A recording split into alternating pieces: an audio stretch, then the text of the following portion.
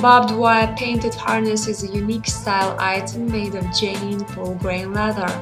By design, it's a high-quality agitation training harness with wide chest plate, thick felt padding on it, thick felt padding on front straps and back plate, and wide durable straps for snug fit.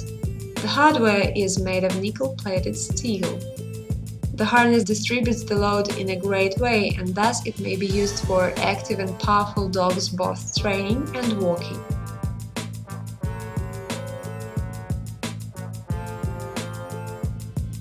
By its appearance, it's an original item of a dog's wardrobe. Unique pattern is hand set with the use of a paint which won't peel off or fade for a very long time.